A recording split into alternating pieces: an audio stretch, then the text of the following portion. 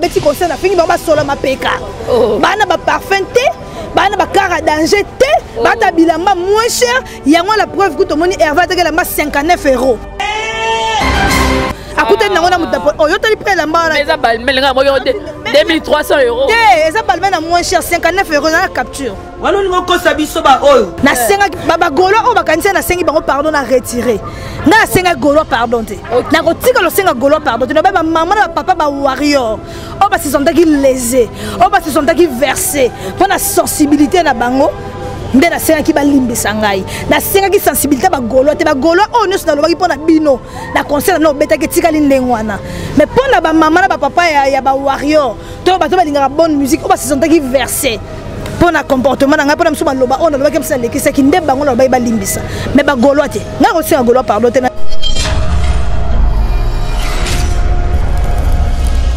bata poto oyo badeborde eza bata poto oyo bakenda classe te ah. oyo base sentir verse oui bato bakenda poto oyo bakenda classe base sentaki verse te mpo bayebi ke naolobela bango te naolobela bagolois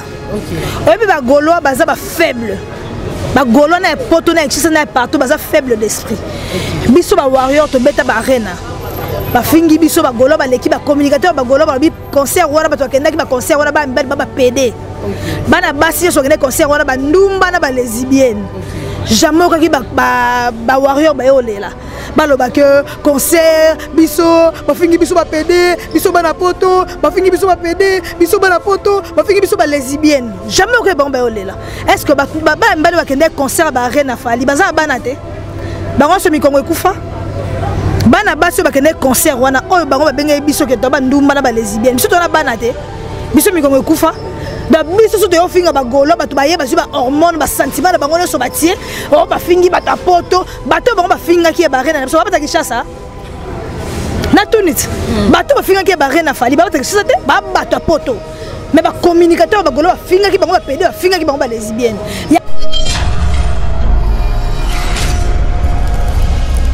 ans, 17 ans, 18 ans, aux jeunes, on a un tata na maman comme fanatique à musicien. Au Congo, comme fanatique à musicien à 50 ans. Ça, moi, il y a 50 ans. ferre mongongo azoki yango wana te akomi fanatique ya musicien na retard na 50 ans alata banzau na plateau alati weston na 50 ans alati basket abie na 50 ans alati pantola bie na 50 ans ozomona azwi mongo na retard soki osango miziki mpo okoma okoma fani ya motu miziki babanda yango oza mwana mokie babandaka miziki na 50 te yango ezobimisa bolole epo tv ezalaka na baexigence nango tv ezalaka kwa internet te mais sikoyo osango azwi bolole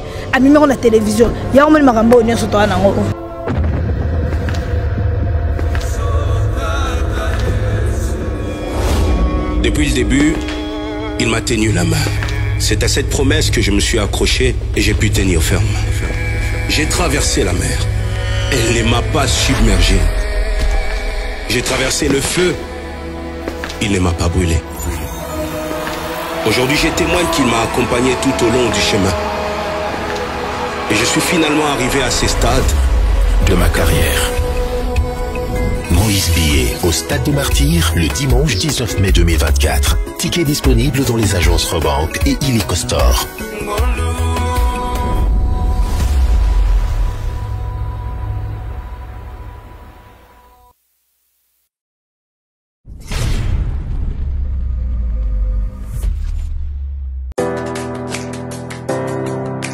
Bienvenue chez Grasse Beauté Cosmétique Paris. L'architecte par excellence de votre peau. Nous montons en dimension au travail de définition pour la ligne cosmétique originale de votre produit beauté de grâce cosmétique Paris. Nous vous proposons la nouvelle collection automne-hiver de groupe A B, C.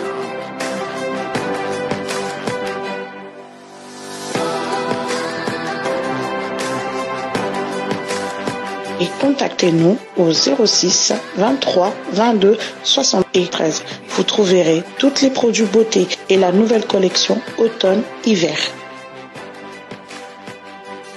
Grâce Beauté Cosmétique Paris, l'architecte de votre peau.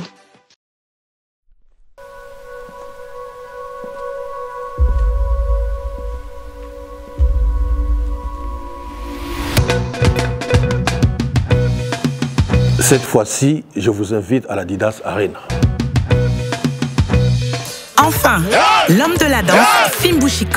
Félix Oisekwa, en concert à l'Adidas Arena,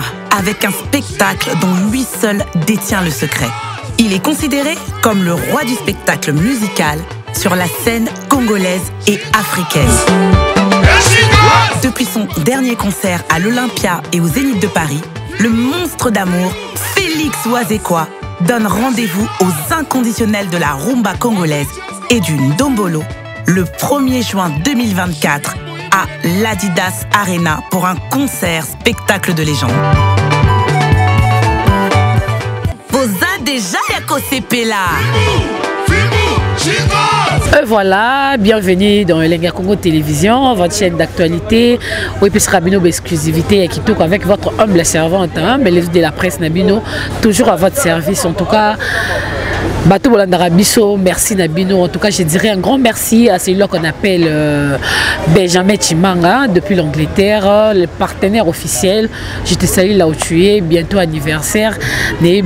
fêtera. je dirais encore un grand merci à toi, docteur fidèle, hein, le papa des Sons, depuis Brazzaville. Aujourd'hui, nous allons parler actualité actualité et je suis avec Lisa Queen boye biso bomoni tobetaka mingi mingi masolo eza ya aigle fali ipupa toyebi ke hier aigle na biso azalaki na arepresentaki congo valablement na les flammes wana place banominaki concert oyo ya euh, Accor Arena. Hein? Bon, je suis avec Lisa Queen, il est bien. euh, bonjour Lisa. Bonjour Mélodie, bonne. Bien, bonne. Ça va, Tracy, mon boss. sœur napesi yo mbote liza queen tomonaki fali pupa avant tokota mawa mosusu mais actualité ezalaki tomonaki fali pupa na les flammes oyo akendaki azalaki nominé mais malheureusement fali pupa aremportaki trophée te oui aremporte trophée te mpe biso tokangi bandoki te toleli te toluki la main noire te oh. tokangi mpe musicien moko ndoki te ya congo oh. banda na batata nyonso bamusicien oyo oh, baza vivant ti na mwana suka oyo akomi sikoyo ambasi bourgeois oyo akuti sikoyo na carrière solo toluki ndoki te toleli te non biso main noire ezalaka te biso eza destin tozwi te tozwi te so tozwi te eloko tosala tofélicité kaka moto oyo azwi félicitation na ye biso oza mpe ya mibali kua ofingi biso problème te ofingi biso tofingani osali boye tosali boye eloko oyo esali ke tozwi tozwi oyo mpe esali ke tozwi te tozwi te en fait biso ozala na pena na plaire jacke te toza artiste baplaire jacke te bato bayaka kolela aleli na ntongo aleli na midi aleli te oyo akope na biso te oh, me balobi concert wana gérer ezwaki meilleure vidéo te fali mpo batinele bango kamwa ye video moko ya danse est ce que ezalaki moment fort ya concert ezalaki yango euh, concert fali te moto akopona video fali mpe te moto akopona ke bonomine concert na nga eza organisation oyo babengi flamme bango moko motu baponaka extrait nini oyo bakoki kotia nabanzi kote yango batiaki ya danse wana ezalaki mpo spécialité baafricaine soki tobina tozala na eloko na loketo ça symbolise afrique quoi yango bapréféraki yango ce que c'est moi je pense ça n'a rien à voir avec ça et on a vu aussi dernièrement fali poupa avec macron avec des légendes, je peux dire, de football, bah, Diouf, Drogba, na terrain à foot, na Macron, habité. Et l'Obama qui tellement trop, je sais pas, Lisa Queen. komona fali na macron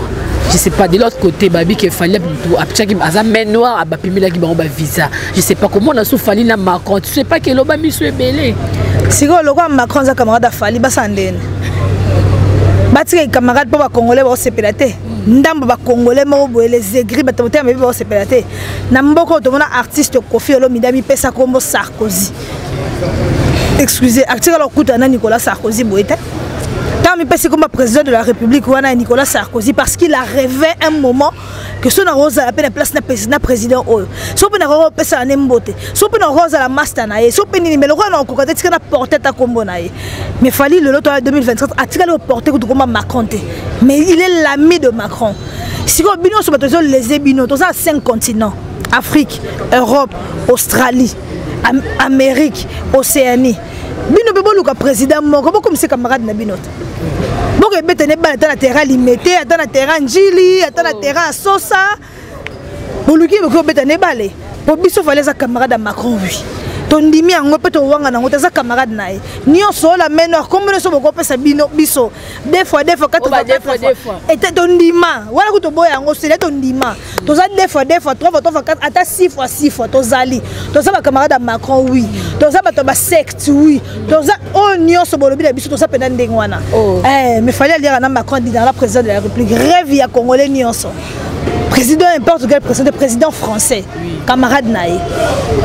bango mpe sikoyo baprésident na bato na bango baartiste na bango baidole na bango baluka ata président ya Congo Brazzaville comme ça papa chombe masta na yo beta ne oh. bale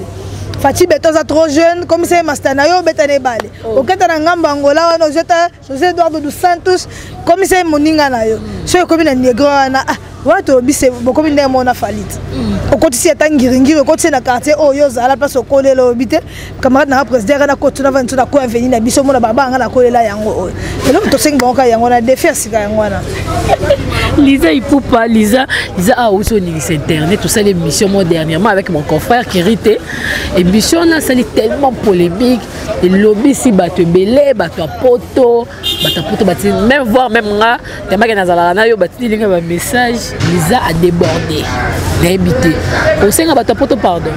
bato ya poto oyo badeborde eza bato ya poto oyo bakenda classe te ah. oyo base sentir verse oui bato bakenda poto oyo bakenda classe base sentaki verse te mpo bayebi ke naolobela bango te naolobela bagolois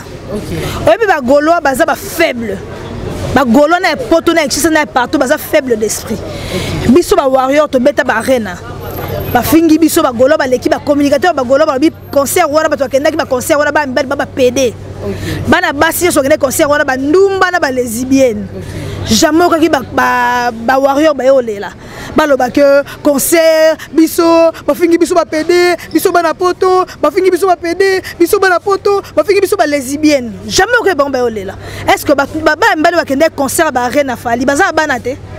bango nyonso mikongo ekufa bana basi oyo bakende concert wana oyo bango babengaki biso ke to bandumba na balesibienne biso tona bana te biso mikongo ekufa na biso so toyofinga bagolo bato baye bazwi bahormone basentiment na bango nyonso batie o oh, bafingi bato ya poto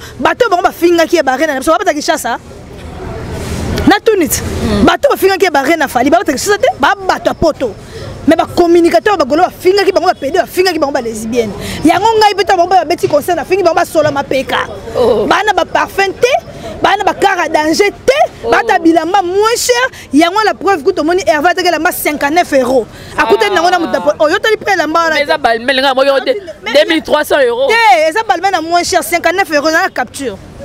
59 euro donc allez-y comprendre que artiste ana mbongo te ekola te lamba 59 euro mpo biso aigle osala yango te ata bilamba ebati ba 30 000 mata ah. eh, na bi herve vana na bademi parcelle nde bino so bofingaka bato boyoka kofinga bien botuna muzeki ndenge afinga bosepela na ye l'homme du moment marka oza ofinga l'homme du moment biso mpe mpa ba warrior ngai mama chantal bomolo lubu te azala na canada euh, jael show boke euh, kombele nani boke na cpi na biso josepha chako biso mpe ntango mpe tofinga bagolo bino mpe boyokaka bien mpo bino bolingaka kofinga kofinga eza mokili na biso tofingana bolela te bolela oh. pourkui balingi soki bazwa bana poto batia bango contre ngai yo liza afingi bana poto te liza afingi bana poto te liza afingi bagolois poto fo bolobaka bien eh. mpo motu oza golois te okosi sentir lese te soki okende concert wana te okosi sentir lese te soki oza intellectuel okosi sentir lese te soki oza mama moko ya warrior to pa moko ya warrior okosi sentir lese te mpo yebi ke bagolois bafingaka biso biso ofingaka bagolois eza miziki akendaka ndenge wana miziki yana banorme nango olingi miziki te longwa oh. olingi miziki te koma kosambela mama na ngai kaka na poto akendaka miziki te mpo ana motema okoka wana te basi ebele bakenda makambo wana te yusuko so olingi mama miziki mpo olingi kokumisa herve so bafingi bino ndima mpo bino bozala bamuziki ndingo na bino baya kofinga bato bozala batemde borekrita mama oyo ya salite bakofinga nga mikolo mama kongo mama lokola mama kongo bongo afandaka journée mobimba kona kofinga bato siko biso biso toza biso sikoyo ngai sikoyo nasalaka moni perike oyo nayati wana nkopo na oteka yango mm. eh, sikoyo biso biso toya kofinga bino bino mpe bondimaka koma bino bosepela kofinga biso bafingi bino bokoma olela eliza afingi bana poto eliza afingi bana yokanisi ngai na via fali na nani so botie eliza afingi bana poto boke concert ya fali te ngai na opese balobi ke obebisela fali promotion ngai na kobebisela fali promotion sango akoki kobebisela fali promotion te gotie sei camarade ya sango ngulu ya sango akoki te oh. bato minene mine na mboko bameka bakoki te ngai nde bapanike baye awa ah, bakoki te kobebisa carrière ya fali ngai nini nayo bebisa carrière ya fali ngai nao pese nini moto so abeya okei concert ya fali liza asali nini asali nini okende oh, epuis nazoyebisa bango ke totikali na moins de 300 billets moins de 300 billets tosala sold out na lyon bacampagne na bango nyonso zéro concert wana etonda eh. ah, pardon pardon na ngai nasengaki eh. bagolo oyo bakanisi nasengi bango pardon na retire ngai nasengaki golo pardon te nakotika losenga golo pardon te nabaya bamama na bapapa bawarrior oyo basi sentaki lese oyo basi sentaki verse mpo na sensibilité na bango nde nasengaki balimbisa ngai nasengaki sensibilité bagolois te bagolois oyo nyonso nalobaki mpo na bino na concert na obetaki etikali ndenge wana mais mpo na bamama na bapapa ya, ya bawarrior to bato balingaka bonne musique oyo basesentaki verse mpo na comportement na ngai mpo na misu maloba oyo nalobaki mpe nalekisaki nde bango nalobaki balimbisa me bagolois te ngai kosenga golois pardon te na nde mokofinga bafinga bafali de omona mozeki ndenge osenga pardon na golois mikonzi na bango na osenga bango pardon ndeni so fere aza mapumbu soki aza mapumbu atia stade de martyr tondima ye atia stade de france soki fere aza na mapumbu na répété soki aza na mapumbu atia stade de france atia date mais bango babeti double adidas arena abiso baolobaka eza meilleur concert de l'année abeti 4500 4500 na molili arena lise ezalaki 8000 place 8000 batie rideau likolo bafoto ezali mpo nini bino ota presse mboka bomeyokela herve mawa bozo aide ye te aosala befort ndenge nini so bozo continue okende mawa bosutenaka ye na mawa bolobelaka ye na mawa boyoka otia appui na mawa ozomona tata lokola sango aye akomi na 50 ans sango akomi fanatique ya musicien ah. bakomaka fanatique ya musicien ntango oza jeune 15 ans 17 ans 18 ans oza jeune ovanda ndaka tata na mama okomi fanatique ya musicien okoki okoma fanatique ya musicien na 50 ans te sango ayekoli kolata na 50 ans Ferre Mongongo. Azo yango wana te akomi fanatique ya musicien na retard na 50 ans. Alata banzao na plateau, alati Weston na 50 ans, eh. alati basket bien na 50 ans, alati pantalon bien na 50 ans. Ozomona azui mongo na retard. Siko sango musique pe okoma okoma fan ya motu mm. miziki babanda yango oza mwana mokie babandaka miziki na 50 te yango ezobimisa bolole mm. epo tv ezalaka na baexigence nango tv eza lokola internet te mm. mais sikoyo osango azwi bolole amemi yango na televizio yango moni makambo oyo nyonso toa nango ah, mais gautier sey babi ke a ah, moto ya mayele moto ya mayele ya bagolois nde ye poto tosala débat moko asali na andi londole awa ah, je m'excuse mais il a été ridiculisé il a été ridiculisé parce qu'il est bête kofi olomide légende ya mboka oyo azwaka micro atie boye eh, amour amour amour niniosa alinga bato baoyemba omoni miziki melodie so eza kitoko otinda moto ayemba te na makasi moto okoyemba na sentiment na ye moko to te charisme oningisa ata lokolo soki herve bato azoyemba te mpo miziki ya kitoko te banzembo mabe banzembo mabe yango bato baoyemba te banzembo dynastie banzembo mabe bango bavandi nde bayeba nzembo na ye te ye bato azemba te tabuley rochero aza kotia micro bato baoyemba donc artiste elengi ya artiste eh, tia micro bato bayemba banzembo na yo meme bamaria carey bajustine biber mokili momba basalaka yango musicien moko na mokili oyo azolo baza grand me bato akoyemba banzembo na ye te ezaka herve hmm. médiocre oh. médiocre bavideo bato bayembi maboko pamba bato bayembi visa na dynastie maboko pamba ya nzembo moko populaire okay. aza na de trois nzembo populaire oyo bato koyemba ana batube te oyo bato koyemba bakanga yango mpe soki otali maboko pamba bato bayembaka kaka ya kote tokozonga maboko oyo nyonso elandi bayebi yango osu te surtout na dynastring bayebi ata nzembo moko te mais herve aza banzembo bato banayebi te mais papa herve aza banzembo bato bato bato bayebi mpe baza populaire peut-être abetaki yango na concert te nzembo nini yo na kala banzembo na kala wana bosuka abetaki yango te mpo ani donc omoni ke ayebi public na ye te po soki moto ayebi public na yo oyebake public na ngai bayebi ngai na banzembo kala balinga ngai banzembo kala nabetela yango banzembo kala po public na ye mpe babata sentiment lipopo bato ya kala ntango otali debi longa public nomona bajeune fille baza te bajeune garçon baza te donc bato ya sentiment lipopo batakala oyo bayaki na, na concert na ngai nasepelisa bato ya kala lokola bamaître madova moto ya kala oh, fali abwakaka donc nasepelisa bato na ngai ya kala nabeta miziki ya kala abeta bapapikaki abeta bandi putu omoni donc toko obeti banzembo ya sika oyebi ke yo ozana na bato ya sika te bayebi na banzembo na sika te bato akepa fere na nostalgie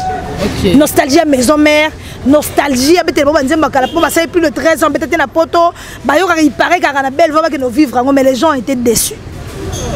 les gens étaient déçus mais era alobaki era ramses ayo tolobaki eza meilleur concert oyo baviva nao te na poto concert ya ferrego alobi bongo mpo lokola alingaka kosala te bakabelaki pleine région parisienne chez Chiquito Papa Paradis, au numéro 10 de la rue Pierre et Marie Curie, 77 380 à Comble-la-Ville.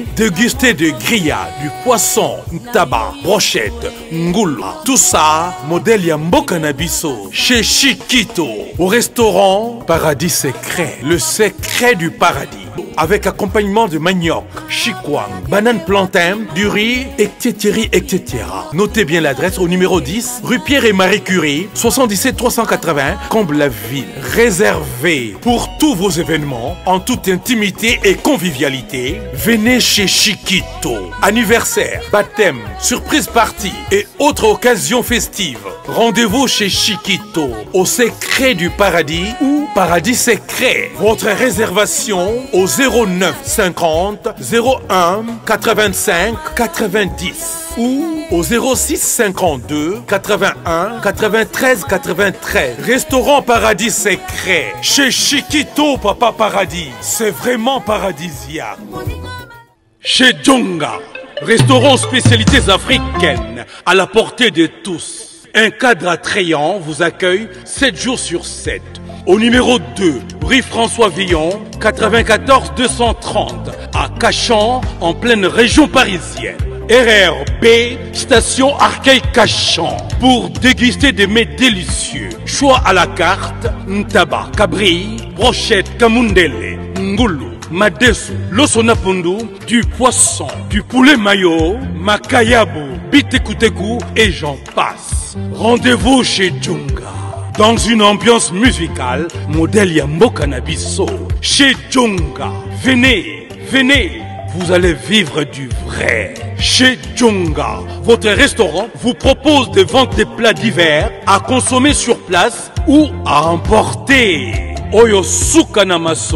commandez au 09 82 63 82 85 numéro fixe ou au 06 35 47 51 81 numéro WhatsApp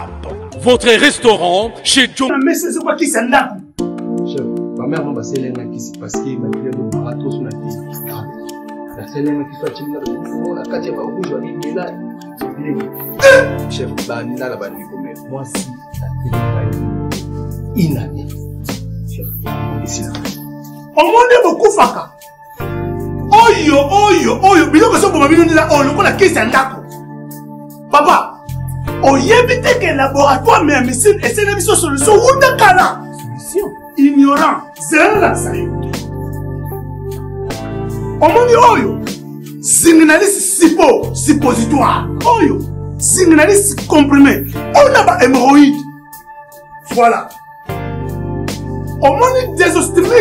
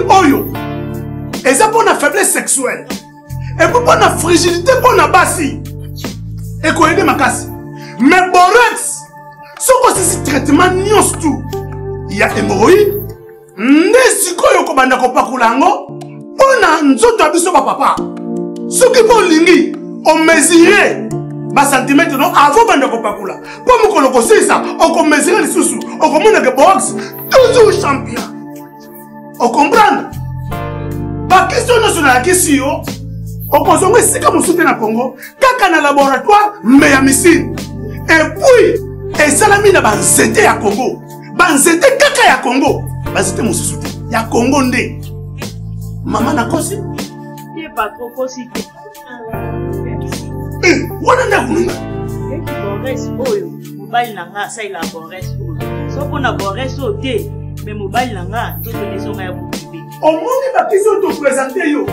esalami na bapharmacien congolais docteur bitu tonele yende savant mbote na biso bandeko ngai docteur pichu tondele naza pharmacien ya formation nazwi formation na université ya kinshasa na faculté ya pharmacie Et puis nasali ba master na niveau ya université Marien Ngouabi mpe na niveau ya Canada na transformation des agro ressources et puis préparation ya cosmétique thérapeutique naturelle. Nazali ko œuvre na laboratoire CRMTA oyo ezali laboratoire MMC spécialisé na production ya ba phytomédicaments c'est-à-dire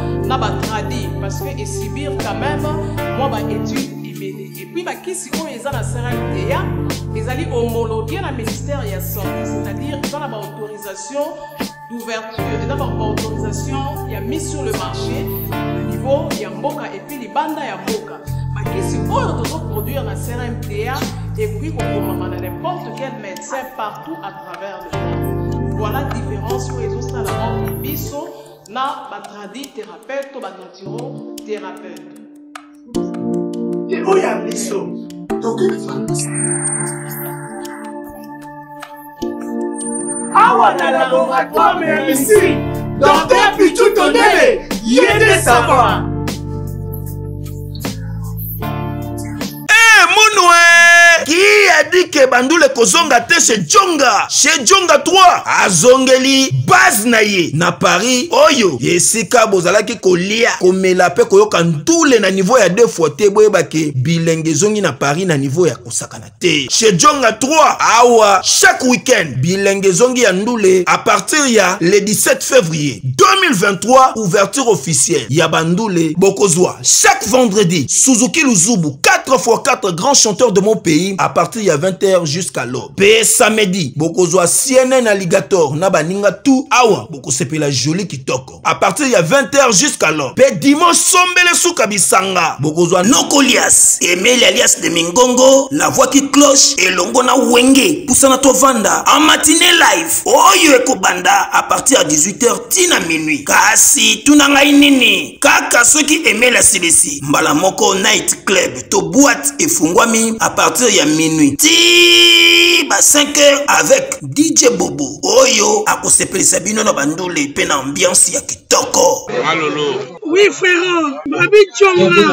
La Congolia. Futur, futur. Hein? Moto akosala 50 boîte na kati ya King Sergio Masquer. chez jonga twanga na ntaba ezwami na adrese oyo noisi le sec na nsima ya macdonald numero 25 chemin de grou 93 130 oza mobimba chez jonga twonga na ntaba yango nde ezali moboko ya mbongo ti asalaka te eh. Eh, mokolo ozwa mpe kayo akende mpe azwa salaire lokola ba mibali nyonso babetise ya bongo te ye aza flatteur il vit au dépend de celui qui l'écoute baflateur baka bongo te oflate ye lobi so bambongo apesa apesa esuti olonga oyo oluka so flate moto mosusu oh. cope ya era yango wana un bon flatteur Voilà. Lisa Queen. Comprenez, je suis avec Lisa Queen. Lisa Queen, bientôt, awa bo pesa biso. Bobo, na ba date ya mi balé, oza Lyon, na Bordeaux. Na habité. Tout le monde qui na U Arena, awa déjà promotion, ba pancarte, eza qui partout na France mobimba. Mais malheureusement, jusqu'à tout le monde là, effort à promotion moroté. Malgré les billets, ils ont été comme parce qu'il y a des gens oyo baza na difficulté ya kosomba mpe babiye en ligne bazali bango baza na difficulté asomba biye en ligne te bato baka na poto baza nyonso bacarte bleu bakumisa so bacarte nini basomba biye te ndenge nini promotion so otali na bametro baosa promotion ekonseka na poto ekonseka na afrique te na bametro batie banini baosa promotion na banzela nyonso na paris na lyon na bruxelles promotion ezali na bachaine ya mindele baosa promotion biso en fait tosala promotion ya la congolaise te mpo aza musicien congolais te aza musicien africain international okay. eza différent na herve aza loko soki abeta concert akosala promotion mpo bacongolais mpo ye aza kaka na bacongolais ah, so omoni mondele moko tomonaki wana na podium mobali lepe abondelaki ye pardon yaka afuti ye na mbongo otiaka ayika ye moko so omoni ivoirien abala congolaise mais biso ezalaka bantiye bamexicain bafrançais babelge baindien bango nyonso baye otala aigle toza na public moko te donc biso tosala promotion na baboka wana babrésil banini partout en fait mpo na bapays wana na bapage wana oyo eza ya banini minene na france mpo toyebi ke aza artiste moko africain c'est une légende africaine eza différent na bato oyo baosala promotion na bango mpo baza bato ya motu moko baza kaka communauté congolaise abeta musique moko communautaire aza local en fait biso bozobenga local tomoni awa na rfi après concert balobi meilleur concert ferre baproba donc rfi mpe eza chaîne na biso chaîne locale te hey. rfi elobi te rfi ekomi makambo bafuta ye bango mbongo bakoma ya journal ah, okay. tu comprends mm. elakisi te ke soki nazwi problème lelo kama oyo ekomeli ngai neti nanga na france soki basi batie ngai na rfi nakomi international tu comprends basinteresse na ngai tomona journaliste ya france 24 alongwe poto ayosala interview na fali na afrique wana oza artiste international ntango mwana nzela babelela ko fali fali flamme otoleka awa te artiste ezalaka moko fali eh. inosa na mwasi ne bafuti mbongo omoni nde nalakisaki opolinvite eh, tala na page ya flamme eh. batie bainvite nyonso inosa aza te reba aza te bafuti mbongo na bango bana mposo bakemona bastar lokola bafali pupa bafuti mbongo na bango bakei komona bastar mpo innocent aza star te rebo aza star te emoni kutu rebo na tapis rouge azopanike omoni edidi solo azalaki alaise aza laise te akokendekende azokanza rebo calm down calme mabe na yo okende komitia na mwana wana mwana wana ameli yo succès rebo mpe asili kaka lokola blague ah. rebo asili kozala aire nyonso na moto ya libabe rebo asili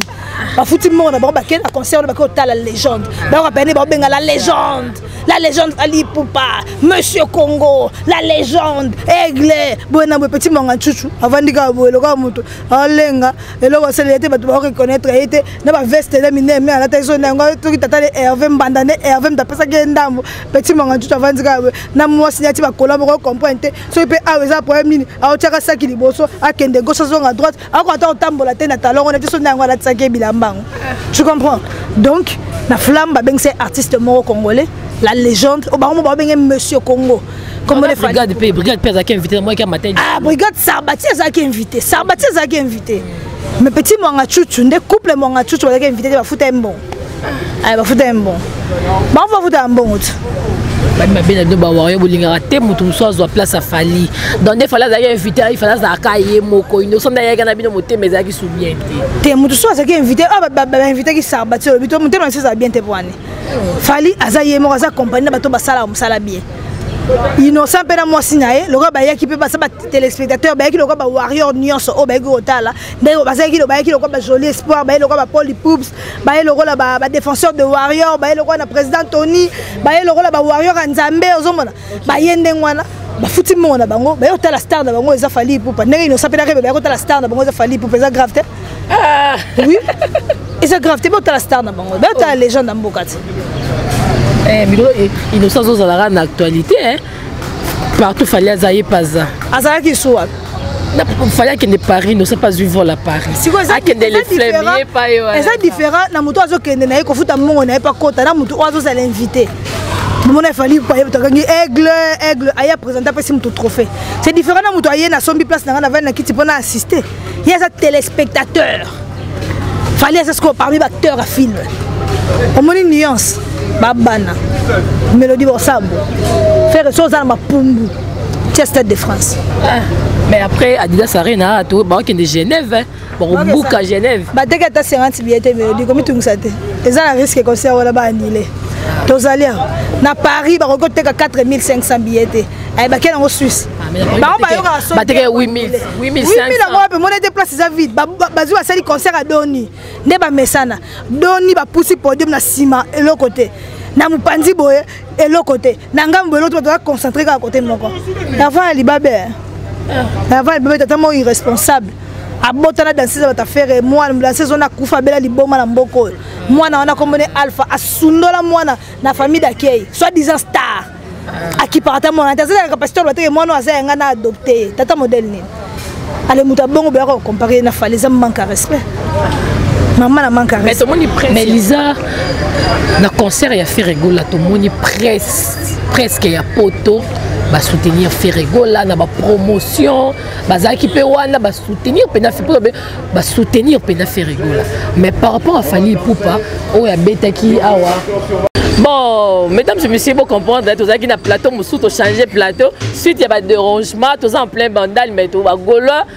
badérange biso tellement yango todeplace toosisi l'émission awa en tout cas bagola bwakabwaka motema monene lokola bawarrior parce que je sais pas nous on fait une émission eza analyse mais badérange biso tellement parce que baosala émission yango toye awa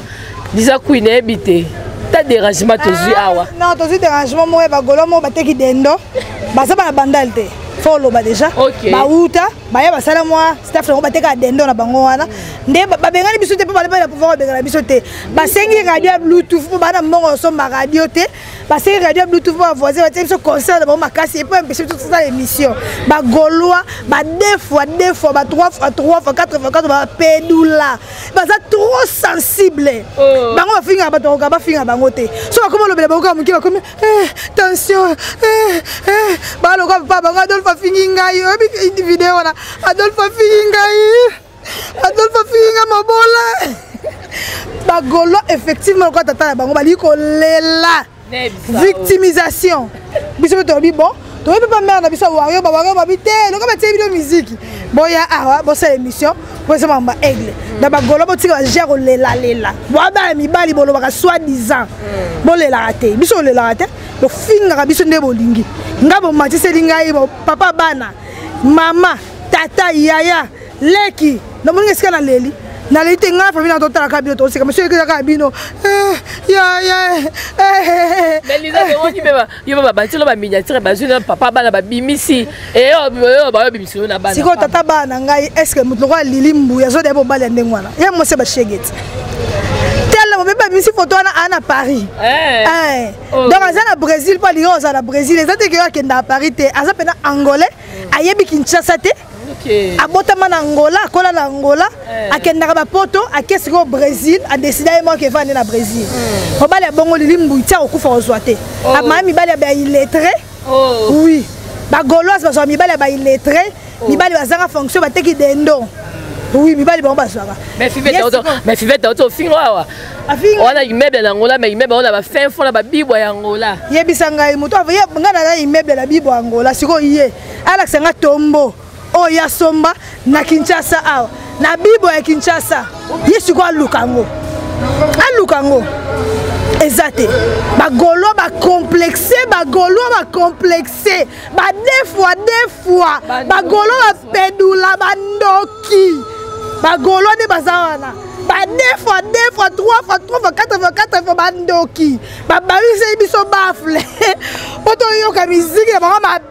mabe miziki ya mabe miziki ya, ya, ya temps passé miziki ya, ya temps passé miziki ya mabe yango bateli biso toyoka bagolo nde bazala bandoki tasekesio na ngai kutu naa nango na bibwa ye alakisa ngai sikoyo place oyo azali mwa eloko ya mokie oyo aza nango wana na kinshasa ngai na lwanda immeuble ata na bibo etikali immeuble sikoyo ye alakisa biso immeuble oyo aza nango awa ata tomonaka chambre salon oyo oh, afutelaka te ezaka ya bana ye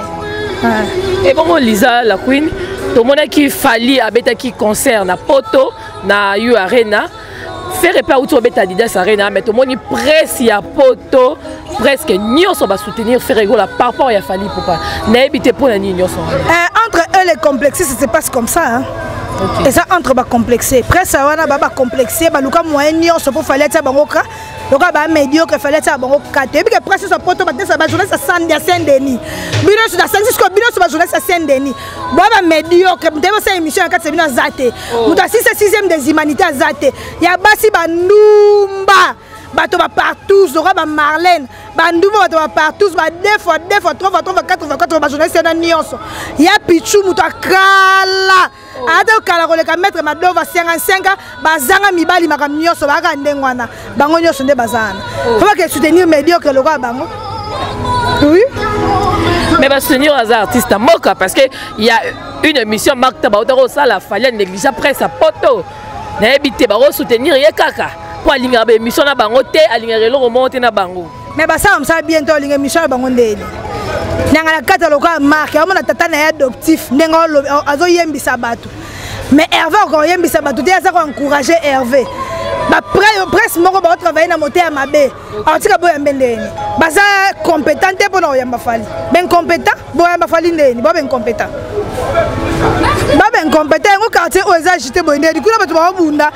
koto bagolo batia biso miziki o oh, oh, quartier quartier nini oyo nzambe na ngai ya nanga koko dilaso oyo oh, makambo nini oyo toya kota ba jérémi shabani ma cherie balabala koko dilaso eza oyo ya nsima eh. mais balabala yango loko eza babar do tomonaka confusion na confusion eza ya kui nayebi par rapport a bangrouema eza oyo bambrie ma eza otokata na biso émission si vraiment nde tokata na biso émission no topeso na suka un mot de la fin na bato nyonso balingaka kona yebika bato bolandi oyo bosepeli na émission te botikela biso bamessage bao mpe bosepeli botikela biso bacommentaire on va tout lire baoyo basepeli na émission te on s'en fou kaka mposa bosepela na émission oyo te on s'en fou baoyo basepeli na émission bawario tolingi bino mingi boza ya biso toza ya bino aigle Fali Ipupa nde makambo Monsieur Congo c'est ça qui est ça basi ba warrior baka propre kitoko solo parfait mais ba golo baza wana solo ya oyo na moni ebe nde problème yango na bato na bana poto bato ya golois liza nayebi te tokabwana na biso mamo de la fin na bato balingaka liza queen na elengi ya congo toyebisa bino elengi ya congo télévision eza chaîne nyonso nde osoutient tous les artistes ferre egola il a fait son concert